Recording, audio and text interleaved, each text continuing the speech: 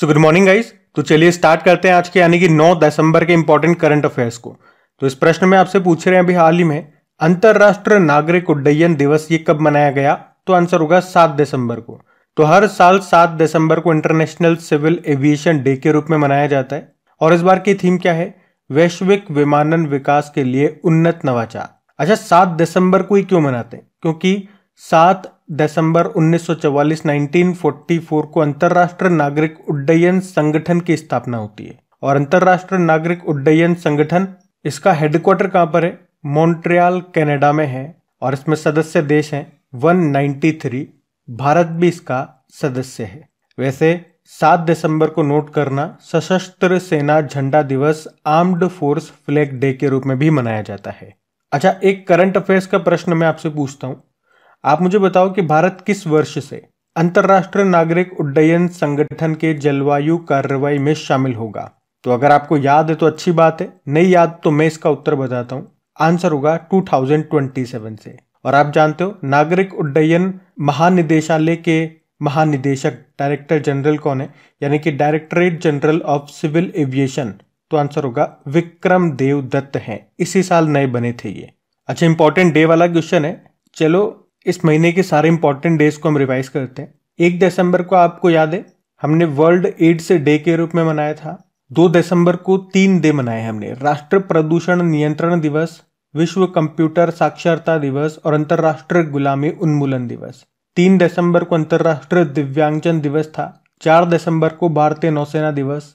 पाँच दिसंबर को world soil day के रूप में मनाया और अंतर्राष्ट्रीय स्वयं सेवक दिवस भी था। इंटरनेशनल वॉलेंटियर्स डे और अभी ये सात दिसंबर को अंतर्राष्ट्रीय नागरिक उड्डयन दिवस और सशस्त्र सेना झंडा दिवस के रूप में मनाया। तो ये दिसंबर के इंपॉर्टेंट डेज़ है, इनको ध्यान रखना। अगला प्रश्न देखते हैं। चलिए फिर बताइए, अभी हाल ही में टाइम मैगजीन ने किसे एथलीट ऑफ़ द ईयर चुना है? तो आंसर होगा लियोनल मैसी को। तो अभी टाइम मैगजीन ने अर्जेंटीना के जो फुटबॉल प्लेयर हैं लियोनल मैसी इनको 2023 के लिए एथलीट ऑफ़ द ईयर चुना है। और आप कह सकते हो लियोनल मैसी ये सम्मान पाने वाले पहले फुटबॉलर बन गए हैं। लियोनल मैसी ये अर्जेंटीना के फुटबॉल प्लेयर हैं। अभी आपको याद होगा बैलन डी और पुरस्कार भी इनको मिला था और आपको याद हो तो फीफा मेंस वर्ल्ड कप 2022 जो उसका बाईसवा संस्करण था, कतर में खेला गया था, जिसका शुभंकर यानी कि मैस्कोट था लाइब इसको अर्जेंटीना ने जीता था फ्रांस को हरा करके। और यहाँ पे अर्जेंटीना के कप्तान रहे लियोनल मैसी। और इसके लिए इन्हें गोल्डन बॉल अवार्ड भी मिला था। उसके अलावा अगर आपको याद हो तो लियोनल मेसी इन्होंने Laureus world sportsman of the year 2023 और team of the year award 2023 का खिताब भी खिताब भी जीता। तो इन सब कारण से अभी लियोनल मेसी न्यूज़ में थे। और टाइम मैगजीन की अगर बात करोगे तो आपने अभी पढ़ा होगा कि इसने 2023 के लिए पर्सन ऑफ़ द ईयर किसे चुना? तो आंसर होगा टेलर स्विफ्ट को। टाइम मैगजीन ये अमेरिकी साप्ताहिक समाचार पत्रिका है, जिसका प्रकाशन न्यूयॉर्क में होता है और इसकी स्थापना होती है 1923 में।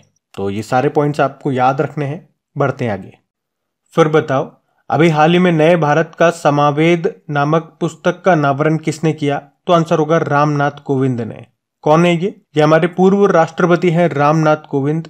इन्होंने अभी नई दिल्ली में नए भारत का समावेद नाम की जो बुक है, उसको लॉन्च किया है। इस बुक में भारतीय संविधान पर प्रधानमंत्री नरेंद्र मोदी जी के भाषणों का कलेक्शन है।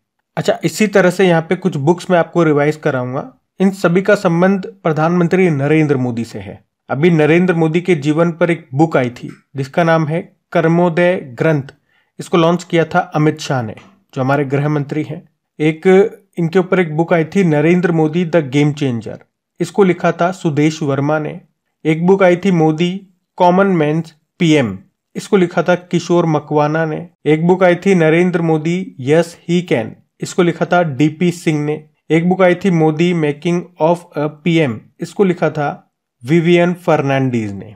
वैसे नरेंद्र मोदी जी ने भी कुछ बुकें लिखी हैं, जिसमें से सबसे इंपॉर्टेंट बुक है एग्ज़ाम वॉरियर जिसको खुद नरेंद्र मोदी ने लिखा है। अच्छा वैसे बुक वाला प्रश्न है तो 2023 की कुछ इंपॉर्टेंट बुक्स मैं आपको रिवाइज कराऊँगा यहाँ पे। जैसे कि सलमान रुश्दी अभी इनकी लेटेस्ट बुक आई थी विक्ट्री सिटी अच्छा आप मुझे कमेंट बॉक्स में लिख करके बताओ तो अभी इनको एक अवार्ड मिला था, उसका नाम क्या है उस अवार्ड का? अच्छा राखी कपूर, इनकी एक बुक है नाउ यू ब्रीथ इस बुक ने गोल्डन बुक अवार्ड 2023 जीता। Abhay K the book of Bihari literature नाम की बुक लिखी। P Jyoti Mani India's struggle for independence Gandhian era नाम की बुक लिखी।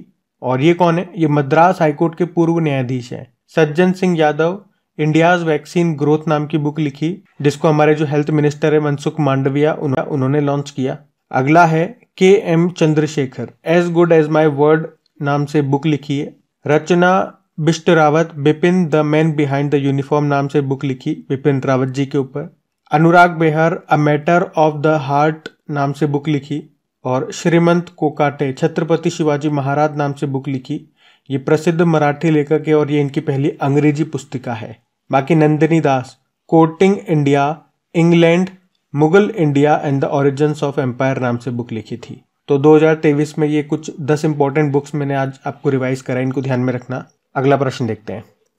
फिर बताइए, अभी हाल ही में विश्व का सबसे बड़ा न्यूक्लियर फ्यूजन रिएक्टर ये किसने बनाया? तो आंसर होगा जापान और यूरोपियन यूनियन ने। तो अभी विश्व का सबसे बड़ा और एडवांस न्यूक्लियर फ्यूजन रिएक्टर जिसका नाम है J T sixty S A इसे जापान और यूरोपियन यूनियन ने मिलकर के तैयार किया है। और अभी इसे एक दिसंबर से जापान के इबाराकी प्रांत में शुरू किया गया है। इस न्यूक्लियर रिएक्टर में हाइड्रोजन का फ्यूजन करके हीलियम बनाया जाएगा, जिसकी वजह से हीट और लाइट के रूप में एनर्जी उत्पन्न होगी। अच्छा जब भी आप लोग न्यूक्लियर की बात करते हो तो दो शब्द आपने ज़रूर सुने होंगे।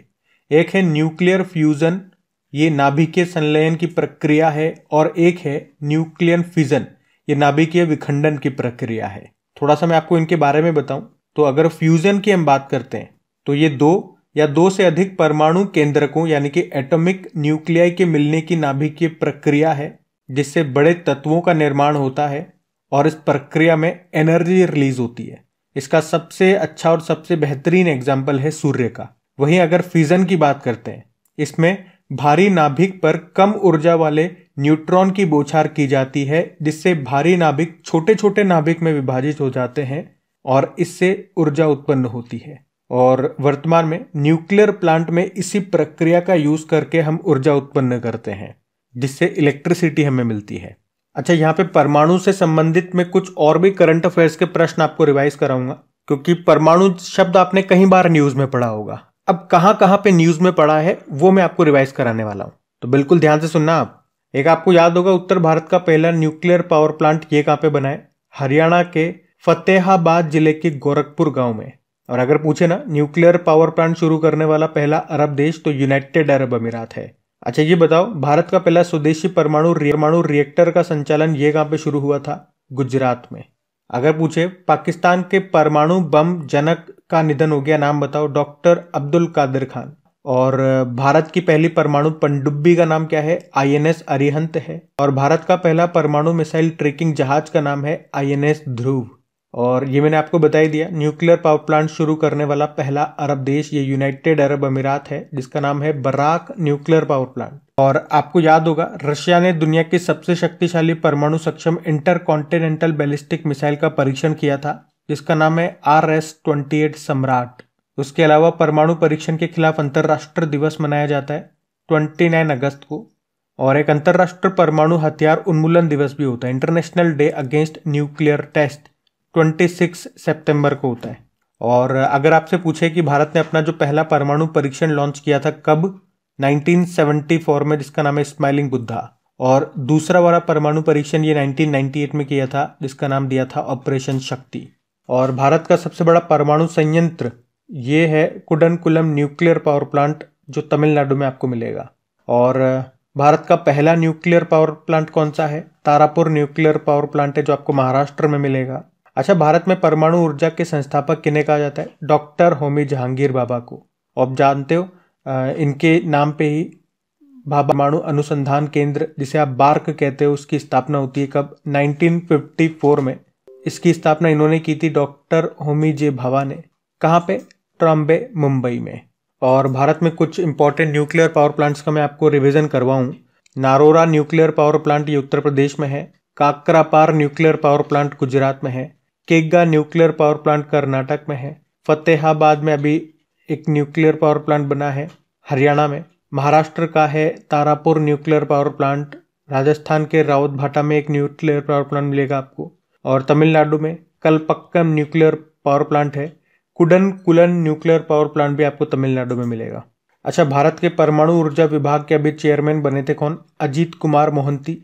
और विश्व की सबसे ऊँची परमाणु सुविधा यानी कि प्रयोगशाला ये कहाँ पे स्थापित की गई? बोलीविया में।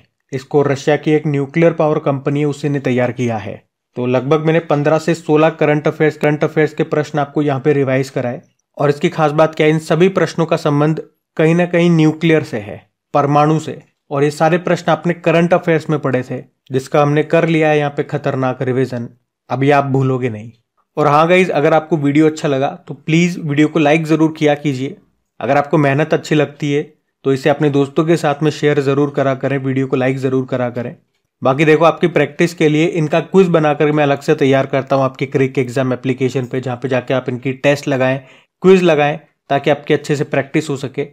इनकी पीडीएफ भी आपको मिल जाएगी क्रिक एग्ज़ाम एप्लीकेशन में, जिसका लिंक नीचे डिस्क्रिप्शन बॉक्स में है। अभी हम बढ़ते हैं आगे। फिर बताइए, अभी हाल ही में किसे अति विशिष्ट रेल सेवा पुरस्कार से सम्मानित किया गया? तो आंसर होगा प्रशस्ति श्रीवास्तव को। तो भारतीय रेलवे यातायात सेवा, यानी कि इंडियन रेलवे ट्रैफ़िक सर्विस अधिकारी हैं ये, और अभी वेगन से सामान लोड करने, उसे उतारने और मालगाड़ी परिचालन में समय बचाने के लिए इस्तेमाल की जाने वाली कन्वेयर बेल्ट के आविष्कार के लिए उन्हें ये अति विशिष्ट रेल सेवा पुरस्कार मिला है। ये जो अति विशिष्ट रेल सेवा पुरस्कार है, ये भारतीय रेलवे का सर्वोच्च पुरस्कार है, जो भी दिया गया है प्रशस्ति श्रीवास्तव को नाम इम्पोर्टेंट है। वैसे आप जानते हो हमारे रेल मंत्री कौन है? अश्विनी वैष्णव है और पहले रेल मंत्री हुआ करते थे जॉन मथाए अभी रेलवे बोर्ड की जो नई अध्यक्ष और सीईओ बनी है, उनका नाम क्या है? जया वर्मा सिन्हा और इस पद पर आने वाली वो पहली महिला है तो उनका नाम भी इम्पोर्टेंट है। बाकी नंदिनी दास का नाम जानते हो? भारतीय मूल की लेखिका हैं, जिनको अभी 2023 का ब्रिटिश अकादमी पुस्तक पुरस्कार मिला। स्वाति नायक 2023 के लिए Norman E. Borlaug field award मिला और रामचंद्र गुहा। इनकी पुस्तक रिबेल्स अगेंस्ट द राज ने जीता है 2023 के लिए एलिजाबेथ लॉन्गफोर्ड पुरस्कार।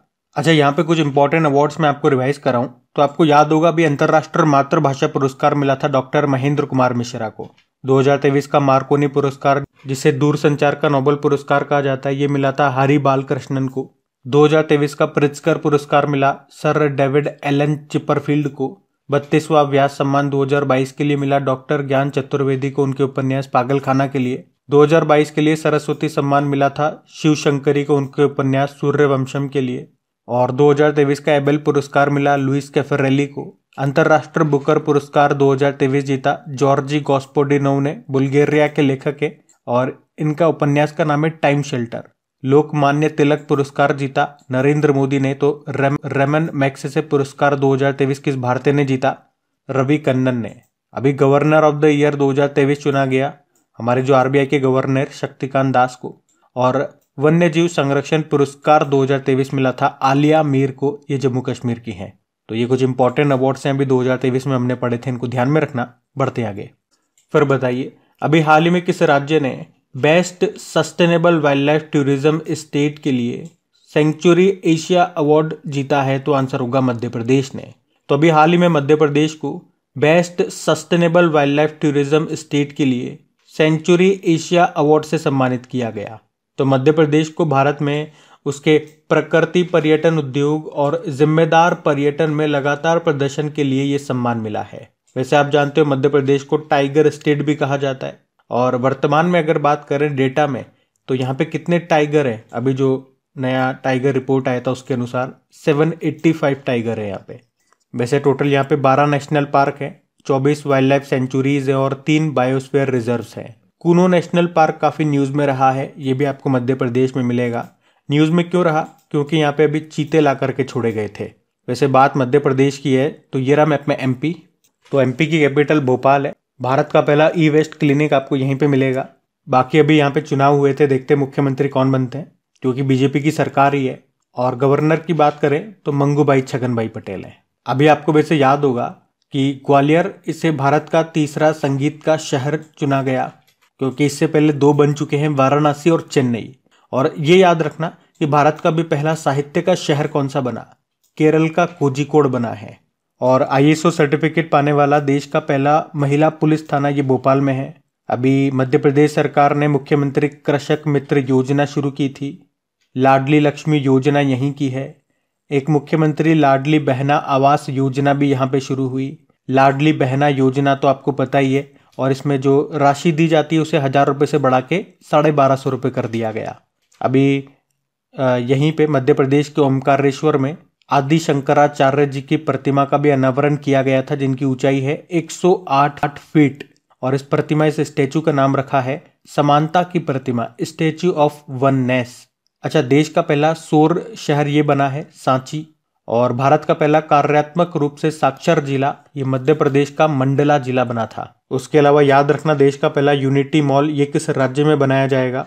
मध्य प्रदेश के उज्जैन में और राष्ट्रपति जो हमारी द्रौपदी मुर्मू जी हैं, अभी उन्होंने भोपाल में उत्कर्ष और उन्मेषा उत्सव को शुरू किया था। अभी मध्य प्रदेश ने यूनाइटेड नेशन पॉपुलेशन फंड की हेल्प से जस्ट आस्क नाम से एआई चैटबॉट भी लॉन्च किया था। भारत का पहला जियोलॉजिकल पार्क बनेगा मध्य प्रदेश के जबलपुर में। और प्रधानमंत्री नरेंद्र मोदी ने बताओ किस राज्य से राष्ट्र सिकल सेल एनीमिया उन्मूलन मिशन को शुरू किया था। तो मध्य प्रदेश से, मध्य प्रदेश के शहडोल से। और अगर पूछे ना कि जो शिकल सेल एनीमिया का उन्मूलन का, उसे खत्म करने का लक्ष्य हमारा कब का है तो 2047 का है। ये इंपॉर्टेंट डेटा है, ध्यान में रखना। और मध्य प्रदेश से संबंधित ये प्रश्न मैंने आपको बताए करंट अफेयर्स के, ये भी सारे इंपॉर्टेंट है। इनको भी ध्यान में रखना, बढ़ते आगे। चलिए फिर बताइए, अभी हाल ही में कोप 28 में किस भारतीय यूनिवर्सिटी ने प्रतिष्ठित ग्रीन यूनिवर्सिटी अवार्ड जीता? तो आंसर होगा आईआईटी मंडी। आपको तो पता ही अभी 2023 में कोप 28 का आयोजन ये कहाँ पे किया गया? यूनाइटेड अरब अमीरात के दुबई में। और अभी यहीं पे आईआईटी मंडी को ग्रीन यूनिवर्सिटी अवार्ड से सम्मानित किया गया। तो देखो, पूरे विश्व में ऐसी यूनिवर्सिटी जो ग्रीन हाउस गैसों के उत्सर्जन को कम करने का प्रयास कर रही है तो ऐसी यूनिवर्सिटीज को हर साल ग्रीन यूनिवर्सिटी अवार्ड से सम्मानित किया जाता है। तो इस बार किया गया आईआईटी मंडी को वैसे आईआईटी मंडी का लक्ष्य है आने वाले 10 सालों में ग्रीन हाउस गैसों के उत्सर्जन को कम करना और शून्य कार्बन उत्सर्जन नीति पर कार्य करना। तो एक लाइन में याद रखना कि कोप अट्ठाईस बैठक में आईआईटी मंडी को ग्रीन यूनिवर्सिटी अवार्ड से अभी सम्मानित किया गया। आपको याद होगा, अभी हमने पढ़ा था कि जो बिहार स्टेट है, उसको भी कोप अट्ठाईस में वनीकरण प्रयासों के लिए अंतर्राष्ट्रीय सम्मान मिला था।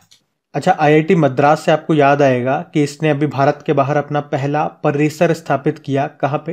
तंजानिया के जांजीबार शहर में। और आईआईटी मद्रास यहाँ पे एक उत्सव महोत्सव मनाया गया था जिसका नाम है सारंग 2023 और आईआईटी मद्रास ने Wharton Q S reimagine education award भी जीता था। इसे शिक्षा का ऑस्कर कहा जाता है। और आईआईटी मद्रास इसने स्वदेशी मोबाइल ऑपरेटिंग सिस्टम को डेवलप्ड किया था जिसका नाम है भरोस। या इसकी फुल फॉर्म हो जाती, भारत ऑपरेटिंग सिस्टम और आईआईटी हैदराबाद, इसने विकलांग व्यक्तियों के लिए भारत का एक एआई आधारित जॉब पोर्टल लॉन्च किया था, जिसका नाम है स्वराज बिलिटी तो ये पॉइंट्स आप ध्यान में रखना। अगला प्रश्न देखते हैं। चलिए फिर बताइए। अभी हाल ही में जयपुर वैक्स म्यूज़ियम में बी आर अंबेडकर जी की मोम की प्रतिमा का अनावरण किया गया। उसकी हाइट कितनी है? तो आंसर होगा पाँच फुट ग्यारह इंच। तो अभी छह दिसंबर को बाबा साहब अंबेडकर जी के निधन की स्मृति में, उनकी याद में महापरिनिर्वाण दिवस के रूप में मनाया जाता है। तो उसी दिन अभी राजस्थान के जयपुर वैक्स म्यूज़ियम, जो कि है नाहरगढ़ किले में, वहाँ पे अभी इनकी मोम की प्रतिमा का अनावरण किया गया, उसे लॉन्च किया गया, जिसकी हाइट है पाँच फुट ग्यारह इंच, और इस प्रतिमा, इस स्टेचू का वज़न है थर्टी एट किलोग्राम। और आपको याद आएगा, अभी कुछ दिन पहले ही हमने पढ़ा था कि यहीं पे विराट कोहली की मोम की प्रतिमा भी लगाई गई थी।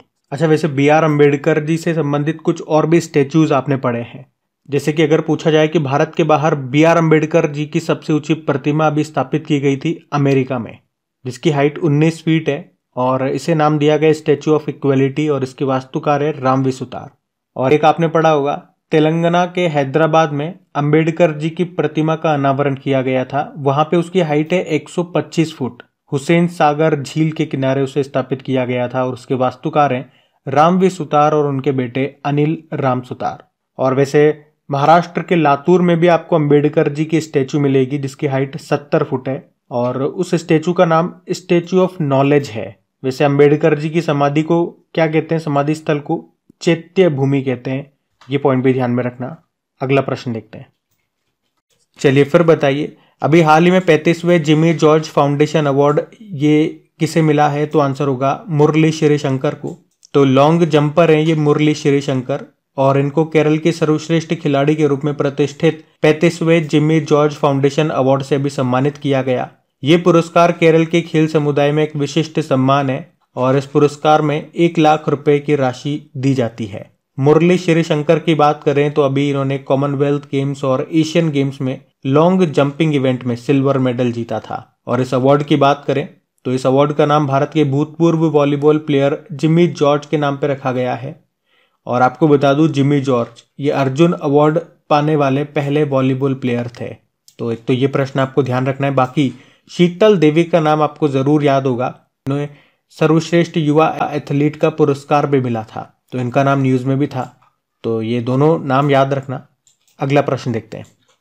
फिर बताइए, अभी हाल ही में मैक्स लाइफ इंश्योरेंस के अध्यक्ष के रूप में किसे चुना गया? तो आंसर होगा राजीव आनंद को। तो मैक्स लाइफ इंश्योरेंस के नए अध्यक्ष के रूप में भी राजीव आनंद को चुना गया है। उन्होंने किनका स्थान लिया? अनलजीत सिंह का। देखो, मैक्स लाइफ इंश्योरेंस बात करें, ये एक्सिस बैंक और मैक्स ग्रुप की सब्सिडरी कंपनी है, जिसकी स्थापना होती है सन 2000 में। नई दिल्ली में इसका मुख्यालय है और अभी नए अध्यक्ष बन गए राजीव आनंद। बाकी हितेश कुमार एस मकवाना, भारत के महासर्वेक्षक सर्वेयर जनरल ऑफ़ इंडिया बने थे। हीरालाल सामरिया मुख्य सूचना आयुक्त, चीफ इंफॉर्मेशन कमिश्नर बने। तो अमोल मजूमदार अभी महिला क्रिकेट टीम के मुख्य कोच ये बने थे। तो ये नाम भी इंपॉर्टेंट है न्यूज़ में थे। और ये था आज का आपका करंट अफेयर्स का सेशन एक बार फिर से आपको याद दिला रहा हूँ, वीडियो अभी तक आपने लाइक नहीं करा तो प्लीज़ वीडियो को लाइक ज़रूर कीजिएगा। और सबसे ज़रूरी अपने दोस्तों के साथ में इसको शेयर ज़रूर करना प्लीज़ चलो अभी कल के करंट अफेयर्स का हम क्विक रिविजन करते हैं और सेशन एंड करते हैं। तो देखो, पहला प्रश्न पूछा था कि यूनेस्को की अमूर्त सांस्कृतिक विरासत सूची में किसे शामिल किया गया? गरबा नृत्य को।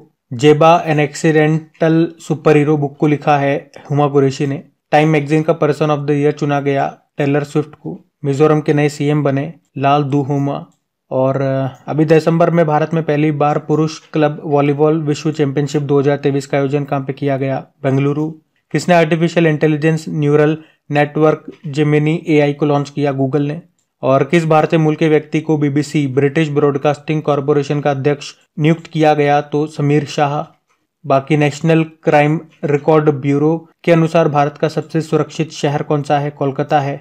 S and P global market intelligence की 2022 की बीमार रिपोर्ट में एल विश्व स्तर पर कौन से स्थान पर है? चौथे स्थान पे। जूनियर विश्व मुक्केबाजी चैंपियनशिप 2023 में भारत ने कुल कितने पदक जीते? सत्रह। तो अभी कल का होमवर्क प्रश्न देखते हैं और फिर सेशन एंड करते हैं। तो कल की वीडियो में आपसे पूछा था कि नाटो का इकतीसवा सदस्य देश कौन सा बना? तो आंसर होगा फिनलैंड। आप सभी ने प्रश्न का बिल्कुल सही उत्तर दिया। आप ये आज का आपका होमवर्क प्रश्न।